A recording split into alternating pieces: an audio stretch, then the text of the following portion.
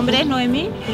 Eh, estamos acá en el barrio Chilillí y ahora estamos contentos porque podemos cruzar tranquilamente las calles, no, pisamos más el barro como lo hacíamos antes. Cambió un montón porque tenemos acceso, a entrada por la 25, salida por la ruta y muy contentos por tener un pavimento digno. Y está muy bueno el cambio porque antes era un desastre, no se podía ni salir el E25, la ambulancia, no podían entrar, por ahí se iban enfermos. Y muy contento estoy con, con la gestión del gobernador. Mucho tiempo esperamos esto, ¿viste? Y era el único que prometió y cumplió.